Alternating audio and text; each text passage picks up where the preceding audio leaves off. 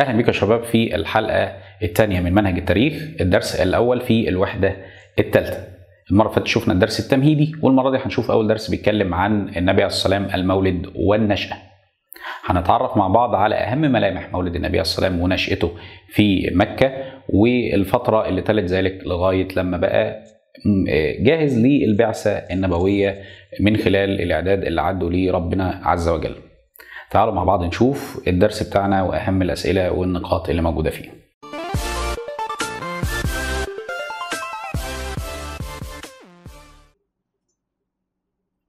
النبي عليه الصلاة والسلام ولد في مكة. في يوم الاثنين 12 ربيع الأول من السنة الهجرية اللي هو بيوافق سنة 571 ميلاديا. طبعا هتلاقينا مكتوب 570 هقول لك والله المنهج ساعات كان بيكتب 570 وساعات 571 طب هو أنهي فيهم صح؟ طبعا الكتاب حاليا في النسخة بتاعت السنة اللي تحت إيدينا 571 لكن في نسخ تانية كان بيقول لك 570 وفي مناهج تانية بيقول لك 570 طب الاختلاف ده بناء على إيه؟ بناء على اختلاف في تقدير السنة. إحنا السنة ما كانتش مرصودة بالتاريخ الميلادي فبتتقدر بالتاريخ الميلادي لكن هي عندنا موجودة بالتاريخ الهجري. فأنت ممكن تكون خدتها قبل كده 570 تفتح الكتاب تلاقي 571 تبص على البرزنتيشن اللي قدامك وتلاقي مكتوب 570 تسمعني بقول لك 571 طب هو ده صح ولا غلط؟ لا ده اختلاف ما بين التاريخ الميلادي والهجري. وبالتالي هتلاقي فيه مؤرخين كاتبين 570 ومؤرخين كاتبين 571 إنما العرب ما كانوش يعرفوا التاريخ الميلادي أصلا. والسنة دي بيسموها عند العرب عام الفيل العرب كانوا بيؤرخوا للأحداث المهمة مش برقم معين من السنين كانوا بيسموا ده عام كذا. كان عندهم معركة مشهورة انتصروا فيها على الفرس مثلا في أحد المرات فيقول لك قبل معركة كذا بعد معركة كذا لعدد من السنين. فكان دي الطريقة اللي بيؤرخوا بيها. إن يحصل حدث مهم وعام الفيل ده اتسمى بالاسم ده لأن الحاكم اللي كان بيحكم اليمن في الوقت ده واللي كان ملك الحبشة اسمه ابرهه الحبشي. المهم ابرهه الحبشي اللي هو كان ملك الحبشة واستولى على اليمن حاول إن هو يهدم الكعبة. يبقى لو قال لك ما المقصود بعام الفيل تقول العام الذي حاول فيه أبرهة الحبشي هدم الكعبة مستخدما جيشا من الفيل أبرهة لما استولى على اليمن أراد إن اليمن تبقى مركز ومقصد للعرب. فعمل كل المحاولات. قالوا له إن الكعبة الناس بتحج إليها فمحدش هيجي عندك هنا يخليك مركز لشبه الجزيرة. فعمل بناء يشبه الكعبة وعلى أساس الناس تيجي تحج. فطبعا لأن ما حدش بيستجيب. فلما تساءل تاني لا ده الكعبة ليها رمز روحي وأهمية دينية عند العرب. فالتاني قرر بناء على كده إن هو إيه؟ إن هو يروح يهدم الكعبة. فاخد جيش وضمنه أعداد من الفيلة اللي جايبها من إفريقيا وحاول يهدم الكعبة. لكن الله عز وجل حفظ الكعبة وأهلك أبرهة وجيشه. طبعا في سورة في القرآن الكريم اسمها سورة الفيل بتتكلم عن هذا الحدث وده العام الذي ولد فيه الرسول. لو قال لك بما تفسر تسمية العام الذي ولد فيه الرسول صلى الله عليه وسلم بعام الفيل هتقول له بسبب محاولة أبرهة الحبشي ملك اليمن غزو مكة قاصدا هدم الكعبة. بما تفسر محاولة أبرهة الحبشي هدم الكعبة؟ ليه أبرهة الحبشي كان عايز يهدم الكعبة؟ ليصرف العرب عن زيارتها وتعظيمها زي ما قلنا وليتجهوا إلى كنيسته التي بناها بأرض اليمن فخرج أبرهة بجيش كبير يضم عدد من الفيلة لهدم الكعبة. يبقى دي أسباب محاولة أبرهة الحبشي إنه يهدم الكعبة ودي أسباب تسمية العام بعام الفيل طيب ليه؟ بما تفسر فشل أبرهة في هدم الكعبة؟ إن الله عز وجل حفظ بيته الحرام وأهلك أبرهة وجيشه ربنا عز وجل أهلك الجيش اللي كان جاي بيه زي ما القرآن الكريم بيقول وأرسل عليهم طيرا أبابيل ترميهم بحجارة من سجيل فجعلهم كعصف مأكول. هلك الجيش بتاع أبرهة بالكامل وهو رجع مصاب وتوفى في اليمن. طيب. طبعا الصورة هنا بتورينا إزاي إن أبرهة كان أحضر جيش من الفيلة الضخمة الفيل الإفريقي ضخم جدا آه، وعلى أساس إن الفيلة دي تيجي آه، تبدأ تخبط في آه، جدران الكعبة فتنهار وبالتالي يهدمها تماما. لكن هذا الجيش فشل في تلك المهمة. بما تفسر ولد الرسول صلى الله عليه وسلم يتيما. هي أول معلومة بيعرفها لي النبي عليه الصلاة والسلام ولد يتيما. ولد يتيم الأب. إزاي؟ العرب في المعتاد كانوا بيعملوا رحلة للشام. ورحلة لليمن اللي هي الشتاء والصيف بلاد الشام دي كانت بتستغرق حوالي ثلاثة أشهر. فوالد النبي صلى الله عليه وسلم اللي هو عبد الله ابن عبد المطلب كان في رحلة الشام أثناء حمل والدته. وأثناء عودته من الرحلة اتوفى آه والد الرسول صلى الله عليه وسلم عبد الله بن عبد المطلب. فلما توفى وصل خبر وفاته بعدها بقليل ولد النبي صلى الله عليه وسلم.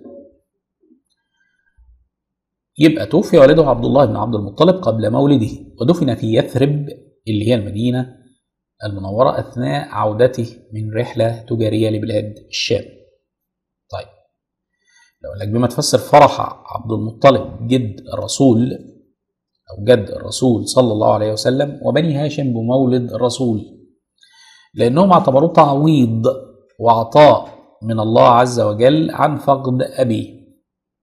يبقى عبد المطلب جده لما وصلته أنباء وفاة ابنه. بعد كده مولد حفيده اعتبره عطاء وتعويض عن فقد الأب. عبد المطلب طاف به حول الكعبة وأسماه محمدا. طب ليه اختار الاسم ده؟ الاسم ده ما كانش مألوف عند العرب كان عدد قليل جدا يعد على أصابع اليد الواحدة قبل الإسلام عرف بذلك الاسم. والاسم ده سببه أن يكون محمودا في الأرض والسماء.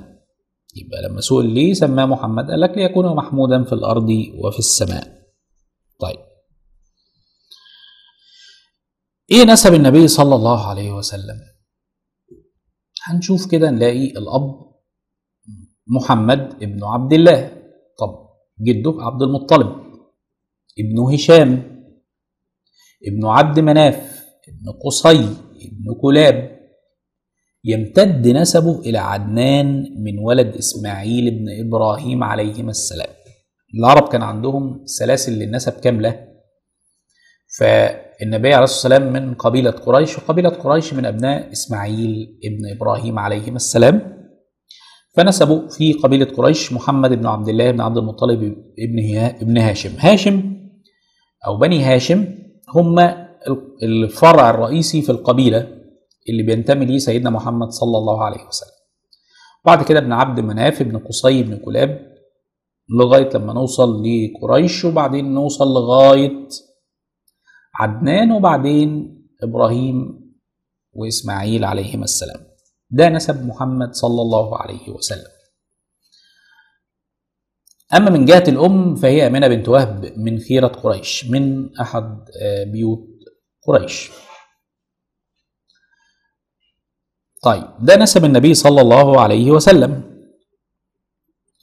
العرب بقى لما كان بيولد ليهم طفل الناس اللي كانت من الكبار في شبه الجزيره العربيه كانوا بيعملوا حاجة مختلفة شوية. ما كانش بيبدأ يربيه الأول عنده كان بيوديه للبادية بيوديه للقبائل اللي عايشة في الصحراء. طب ليه؟ أول حاجة القبائل دي كانت أفصح في اللغة فكان هيتعلم اللغة بشكل كويس. تاني حاجة القبائل دي عيشتها صلبة شوية قاسية. فلما يروح في صغره هناك ويتربى هناك هيتعلم القوة والشجاعة ورجاحة العقل. يبقى عشان يبقى فصيح اللسان وقوي البنيان وراجح العقل. بدأوا يعملوا نفس اللي القبائل كانت بتعمله. يبقى الرسول عاش طفولته في الصحراء في البادية زي ما بيسموها. آه، دي كانت من عادات أشراف مكة أن يدفعوا بأبنائهم لمرضعات من البادية اللي هي القبائل الصحراوية اللي قلنا عليها في الأول خالص. ل أو لو قالك بما تفسر إرسال الرسول صلى الله عليه وسلم إلى ديار بني سعد. نفس الكلام بنفس الإجابة. ان العيش في البادية يكسبهم فصاحة اللسان وقوة البنيان ورجاحة العقل. يبقى في ثلاث أسباب. فصاحة اللسان قوة البنيان ورجاحة العقل. وبالتالي ارسلوا إلى مرضعة في بني سعد وبني سعد قبيلة. وبالتالي ارسلوا إلى مرضعة من بني سعد وبني سعد قبيلة موجودة في الصحراء من القبائل الموالية لقريش. طيب مرضعه الرسول صلى الله عليه وسلم كان اسمها حليمة السعدية من بني سعد. السعدية نسبة إلى بني سعد يعني أقام عندها أربع سنوات. كانت خير وبركة عليها وعلى كل بني سعد. لاحظوا زيادة الخير زيادة التجارة زيادة الزراعة آه، اللي بيزرعوها لو في أمطار زيادة حيوانات الرعي. يبقى النبي صلى الله عليه وسلم أقام أربع سنوات وبعد كده السيدة حليمة السعدية آه، ردته إلى آه، جده بسبب حادثة شق. صدره المعروف. طيب آه، أقام مع والدته حتى سن السادسة وتوفيت والدته في سن السادسة فجده عبد المطلب كفله سرعان ما توفى في سن الثامنة فانتقل إلى آه، أكبر أعمامه وكان في الوقت ده هو آه، سيد بني هاشم أبو طالب. وأحبه أبو طالب أكثر من أولاده وأحسن تربيته ورعايته. لكن أبو طالب كان آه، عمه فقير ما كانش عنده آه، ما كانش غني وكان عنده أبناء كثيرة.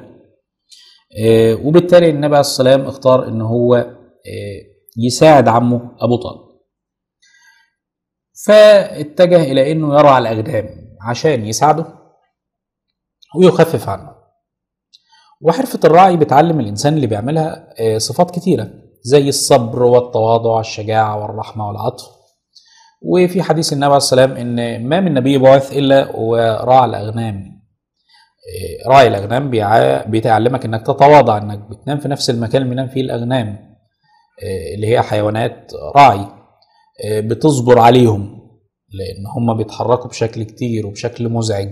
وبيروح وبيجي فبتصبر وبتجيبهم هنا وما بتحاولش تبقى قاسي عشان ما يموتش منك حيوانات من إيه، الأغنام دي خاصة إنها غالبا مش بتاعتك. والشجاعة لأنك بتواجه أخطار لأنك قاعد في مكان مفتوح وفي حيوانات كتيرة مفترسة ممكن تهاجمك. والرحمة على هذه الحيوانات والعطف عليها. فالصفات دي كلها بتكتسبها من آه، حرفة الرعي. شباب النبي صلى الله عليه وسلم. كده شفنا فترة الطفولة والنشأة والمراهقة قضاها في الشكل اللي إحنا شايفينه ده. لما اجى الشباب بتاع النبي صلى الله عليه وسلم كان بيعمل في التجارة واشتهرت عنه صفات كلها صفات حميدة.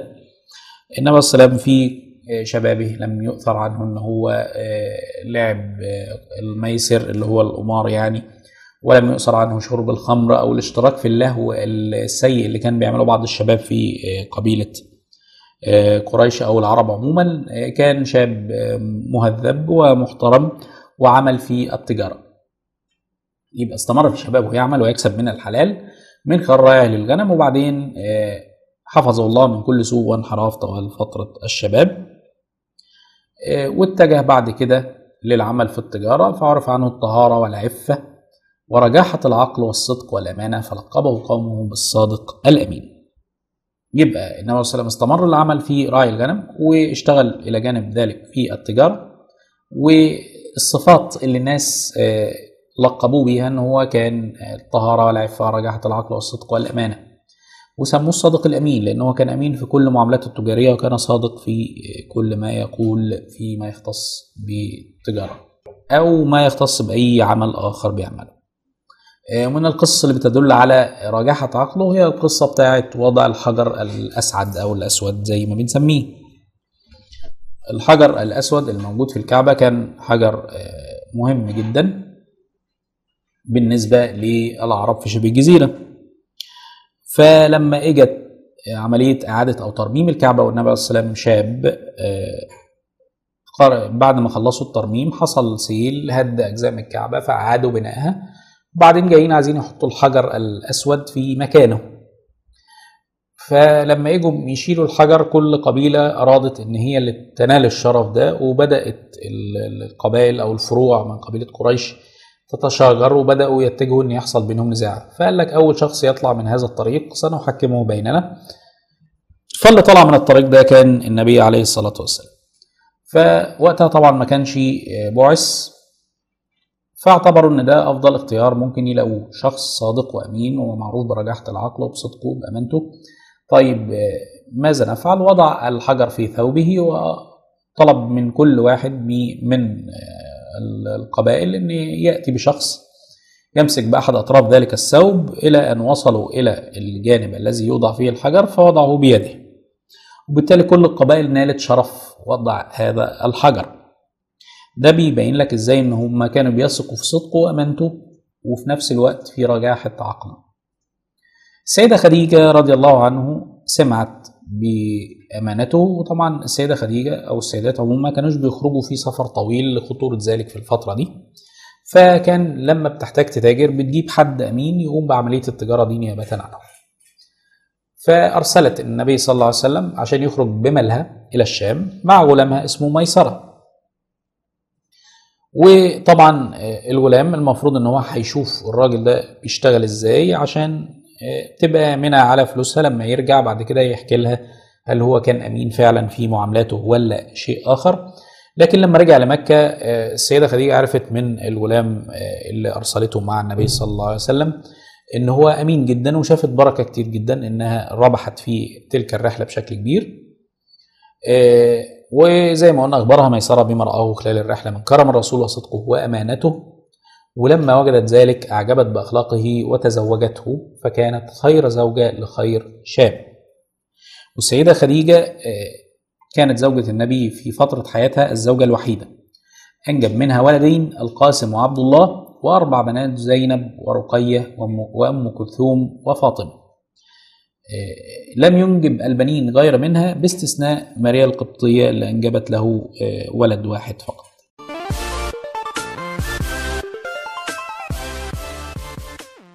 زي ما شفنا خلال الحلقة دي أهم المعالم الخاصة بمولد النبي ونشأته في مكة وما ذلك حتى اقتراب البعثة النبوية. في الدرس القادم هنعرف بعثة النبي صلى الله عليه وسلم. وهنشوف إيه اهم الحاجات اللي حصلت خلال فترة دعوته في مكة حتى هجرته إلى المدينة. نلتقي إن شاء الله في الحلقة الجاية. يا ريت نعمل like subscribe و share واللي عنده أي استفسار يبدأ يسأل تحت. أما اللي ما شافش الحلقة اللي فاتت اللي هو الدرس التمهيدي يقدر يرجع يدور عليها ويشوفها من خلال فهرس الدروس بتاعنا. نلتقي إن شاء الله في الحلقة القادمة.